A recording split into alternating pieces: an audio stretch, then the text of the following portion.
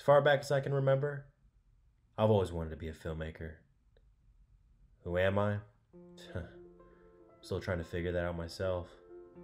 Let me take it back where it all began. My love for film has been evident since I was a child. Some of my earliest memories is when I used to come home and watch Return of the Jedi every day after daycare.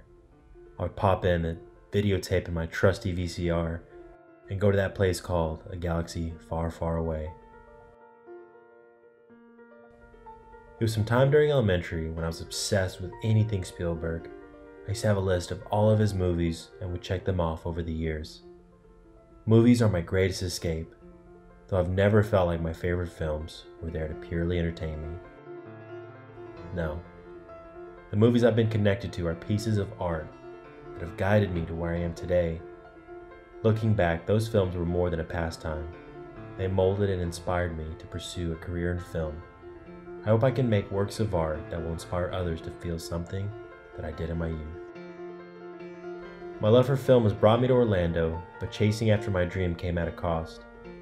My wife and beautiful baby are looking to me, not only to lead this family, but also to do what I love and to do it with all that I have. That responsibility is what propels me to work harder, to not make the same mistakes that I did in my teen years. Struggled all my life with apprehension, self doubt, and hesitancy. I'm my own worst enemy because I quit before I begin. I lack motivation and focus, though over the past few years I've grown tremendously.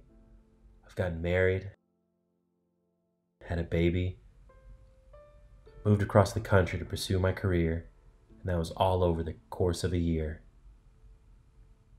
Looking forward to graduation and everything that comes after, there, there's something inside all of us that we can't get rid of.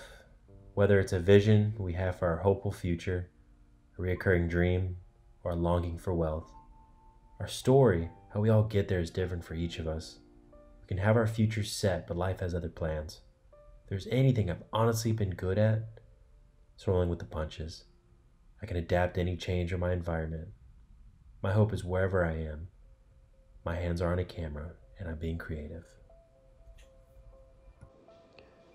Who am I? I'm a husband. I'm a father. I'm a student. Most importantly, I'm, I'm a lover of this ageless, imperfect art called film that I've been passionate about since I was a kid.